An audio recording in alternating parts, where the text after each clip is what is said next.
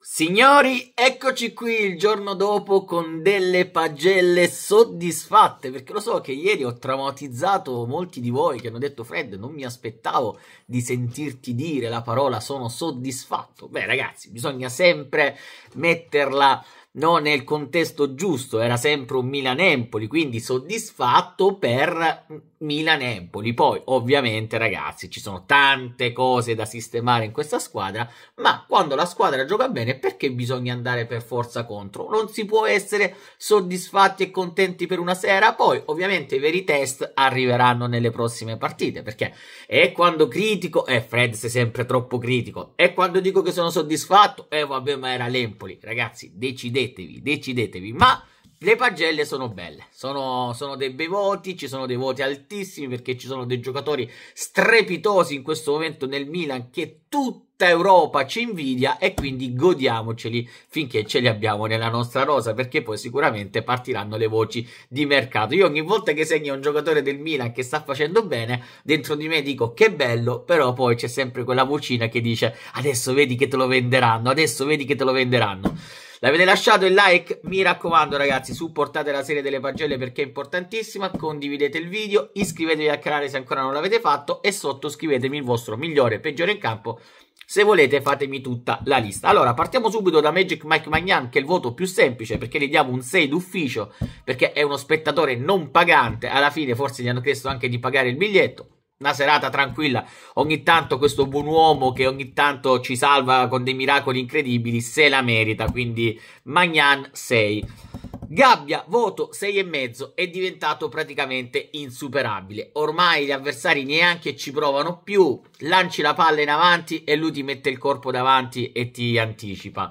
Eh, cerchi il dribbling nello stretto e lui ti mette il piede e ti toglie via il pallone. È sempre posizionato nel posto giusto. Ragazzi, acquisito quella sicurezza, quella leadership che probabilmente gli mancava. È sempre stato un giocatore, no? Che diciamo, dobbiamo vedere, dobbiamo vedere se è un giocatore che riuscirà a rimanere nel Milan Ragazzi, era tutta questione di testa perché è un giocatore veramente molto ma molto forte. E ieri ha fatto una gran partita doveva marcare Pellegrini che non è comunque un avversario fisicamente facile da marcare ma lui ormai ha, ha superato anche il limite del Super Saiyan. Ormai è, sta viaggiando a livelli altissimi. Adesso è arrivato anche il rinnovo sono felicissimo di questo. Ehi ragazzi abbiamo pochi italiani ma almeno quello che abbiamo è buono Malik Ciao, anche lui ha fatto molto bene, quindi anche per lui un 6,5. Lui gioca molto d'anticipo, cerca molto di giocare sulla posizione dell'avversario, quindi si sta comportando molto bene. È un giocatore completamente recuperato, l'avevamo perso. Io dicevo sempre aspettiamo, aspettiamo, perché poi è facile dire e Calulu l'hai regalato, però Calulu stava nelle stesse condizioni di Ciao, cioè due giocatori che nessuno voleva vedere in campo perché stavano facendo malissimo con il Milan.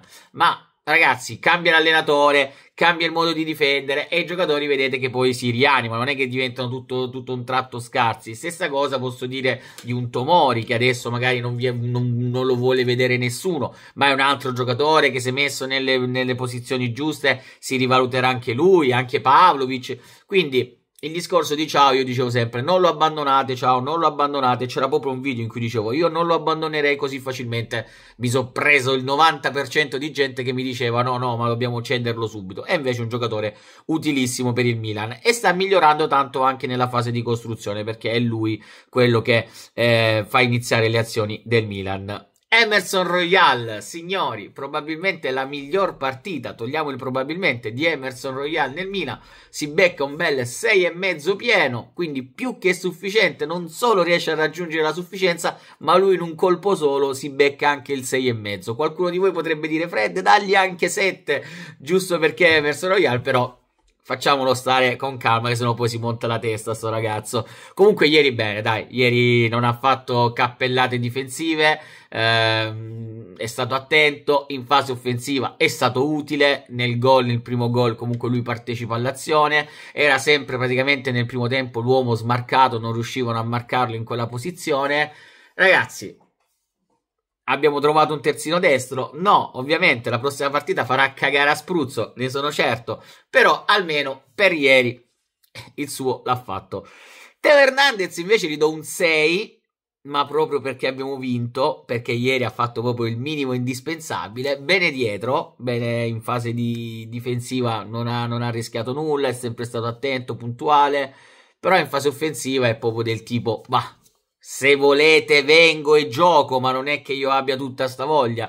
Nel primo tempo qualcosina l'ha fatta, nel secondo tempo ha detto proprio lasciatemi perdere, la partita per me è finita, sto qui dietro e aspetto gli avversari. Quindi un Teo ancora non determinante. Adesso arriviamo ai pupilli, ai gioielli, al centrocampo del Milan che in questo momento ci sta dando grandi soddisfazioni. Il primo è Yusuf Fofana voto sette e mezzo e ovunque quest'uomo. Erano anni che stavamo cercando il sostituto di Frank e sì, e probabilmente ragazzi l'abbiamo trovato. L'abbiamo cercato tantissimo in questo mercato, sono anni che cerchiamo quel tipo di giocatore, non siamo mai riusciti a trovarlo. Adesso forse la nostra attesa è ripagata, perché questo è un giocatore addirittura che potrebbe fare qualcosa anche in più. Perché se guardate l'intelligenza calcistica che c'è nel terzo gol di Renners in cui riesce a far filtrare quel passaggio e lì non solo ci vuole il piede che ce l'ha perché lo sta dimostrando. All'inizio mi dava un po' il dubbio però adesso lo sta dimostrando sta, sta, sta sfornando anche assist a manetta. Però anche quell'intelligenza di darla capito non sul piede ma darla sulla corsa. Quindi è un giocatore che eh, ragazzi, era un nazionale francese, eh, tutti ne parlavano bene, eh, il Monaco non voleva liberarsene e alla fine, ragazzi, ci è andata bene, sta crescendo sempre di più. E davanti alla difesa, ragazzi, a volte c'è solo lui, eh. Cioè, ci sono delle volte in cui magari prendiamo quel famoso contropiede, no? Quella famosa ripartenza e lui riesce sempre a rallentarla. Poi magari molte volte non si nota perché non è che va a recuperare il pallone, non è che recupera sempre il pallone, però se notate in ogni azione rallenta sempre l'azione dell'avversario e quindi dà il tempo a tutti quanti di rientrare. E l'ha fatto ieri 3-4 volte, me ne sono accorto, andava sempre in quella pressione ma non per andare a togliere il pallone ma solo per rallentare l'azione offensiva del, dell'avversario per aiutare anche i compagni, quindi giocatore stra stra utile veramente ci sta trascinando lui insieme all'MVP, l'MVP di questa partita, Tijani Renders, voto 8,5 e qui signori ormai abbiamo finito i, tu, tu, tutti gli appellativi che potremmo dare a questo calciatore è mostruoso, è sontuoso, è determinante, è indescrivibile, è, è magnifico, sa fare tutto, sa fare anche gol ormai, ha una tecnica assurda, già mi faceva impazzire quando non faceva gol, quando non faceva assist, quando non faceva niente, bastava soltanto eh, di vederlo controllare il pallone con quella testa alta, quella schiena dritta e già mi emozionavo. Pensate adesso che li vedo fare pure un gol alla cacà. Cioè, ieri ha fatto un gol alla cacà con quella ripartenza, facendo finta di andare a sinistra, ha tagliato al centro, ha tirato quello un gol alla cacà. Poi sicuramente non c'ha la progressione di cacà, perché cacà è unico e non ne nasceranno mai più come lui. Però, signori, ha una bella progressione, cioè sa fare tutto. È proprio il centrocampista perfetto. Gli abbiamo visto anche fare dei recuperi da mediano ieri. Ieri andava a recuperare anche il pallone. Cioè, sa fare tutto, sa passare, sa tirare, eh, sa crossare, sa, sa dribblare, ehm, sa creare superiorità numerica, è veloce perché palla al piede è veloce, è un giocatore che comunque è rapido perché lì non ti dà neanche il tempo di capire cosa sta succedendo, bombo, parte come una scheggia e tu stai lì a centrocampo che non capisci niente, molte volte spacca proprio il centrocampo in due, che lo vedi proprio gli avversari fermi, senza armi per poterlo contrastare.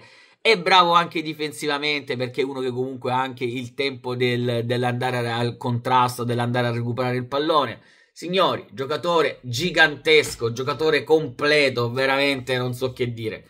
Io sono certo che Renders avrà attirato già le attenzioni di tantissimi club perché ragazzi questo in Serie A nel suo ruolo probabilmente sta al top, eh. non, non, non, ne trovi così, ce ne sono pochissimi giocatori così completi, magari ci sono dei giocatori che sanno fare più una cosa, magari ci sono giocatori che sanno fare più un'altra cosa, ma un giocatore così completo è veramente difficile da trovare.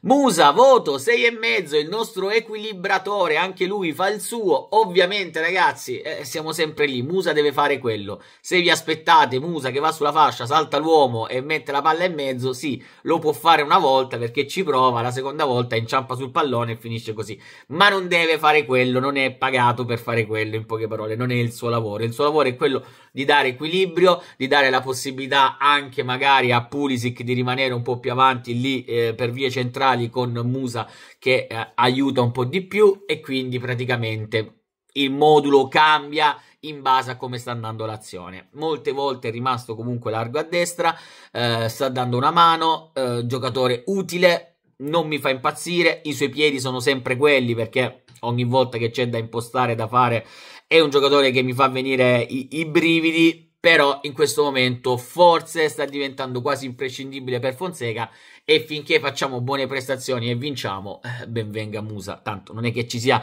tantissima scelta tra quelli che dovevano giocare, tipo il ciucuese della situazione, che non stanno rendendo al massimo, a sto punto Fonseca preferisce avere l'equilibrio e non andare a perdere le partite. Poi, dopo questa partita, secondo me Musa giocherà ancora di più, sempre di più, perché per me Fonseca da questa partita cercherà di creare il Milan che vedremo fino alla fine della stagione. Pulisic voto 6, in posizione centrale mi piace sempre perché è uno che comunque fraseggia con i compagni.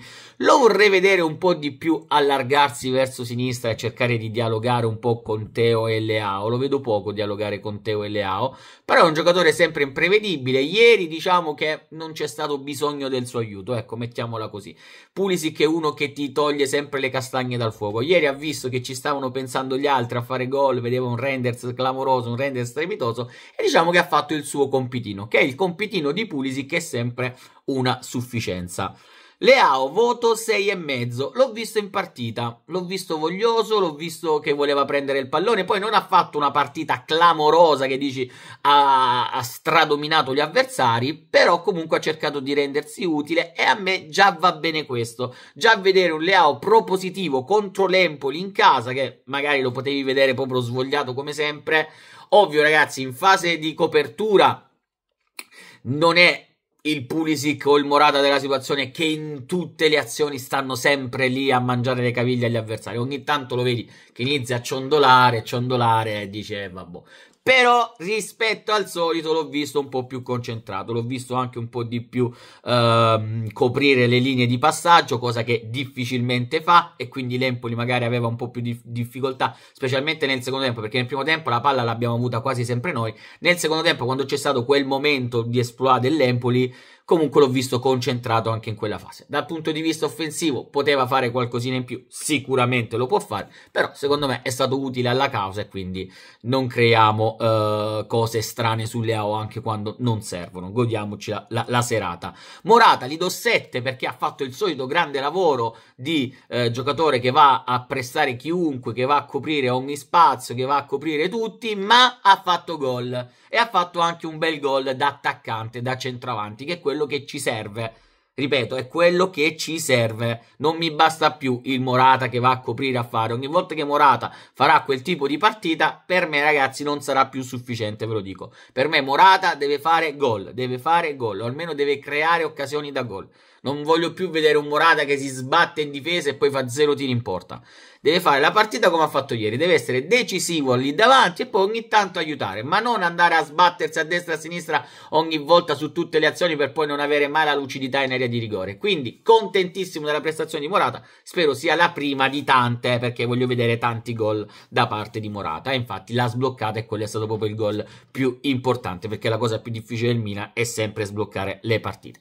I subentrati ragazzi quando sono entrati la partita ormai era già andata quindi non, non gli do un voto ormai erano entrati a partita già morta. Mi è piaciuto come è entrato in campo Ciuquese che cerca sempre di, di, metterci qualcosa del suo. Abram non riesce a segnare ancora a porta vuota, va bene così. Fonseca gli do un 6,5 perché stavamo giocando contro l'Empoli, se no sarebbe stato anche un 7 pieno, però il suo dovere l'ha fatto, ha messo una formazione equilibrata, ha messo una formazione che ci ha fatto divertire, che ha giocato bene, che ha fatto gol, forse sta trovando il suo equilibrio, ovviamente dobbiamo vedere in una partita un po' più difficile, però per quello che aveva dimostrato il Milan di Fonseca, forse erano più difficili le partite contro l'Empoli che magari una partita contro il Real Madrid. Ecco, eh, questa è, è, una follia perché il Milan quando non trova spazi è, è, molto in difficoltà. E ieri comunque è riuscita a creare le palle da gol andando a pressare l'avversario, andando a recuperare palla nella metà campo avversaria e non vedendo un Empoli chiusa, perché quando tu cerchi di impostare con l'Empoli che si chiude, il Milan non ce la farà mai a fare gol. Il Milan deve sempre cercare di fare gol così cercando di andare a essere propositivo, recuperare palle e fare gol, almeno con le squadre piccole. Poi contro squadre come Atalanta, Real Madrid, queste squadre qua, allora puoi anche giocare in ripartenza. Sicuramente con l'Atalanta sarà una partita diversa, però io spero che abbia capito come affrontare queste squadre, ok? Cagliari, eh, Lecce, eh, Empoli, bisogna affrontarle così con il suo famoso gioco dominante.